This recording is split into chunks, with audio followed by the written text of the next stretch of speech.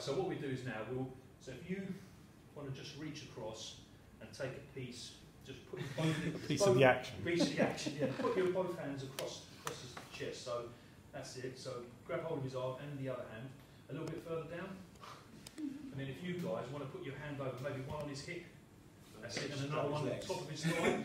And then if you take his, like the bottom, the bottom half, right? So what we're going to do is I'm going to say, ready, brace, roll. And when I say roll, we're going to just literally just roll him back towards us, all right? His face is going to be. His face is going to be turning towards the window, so he's going to be rolling back towards to his left, okay? Whoever's on my car has really, really warm hands. Thank you. All right, so we're going to go ready, brace, roll, and we're going to turn him just onto his side, okay, about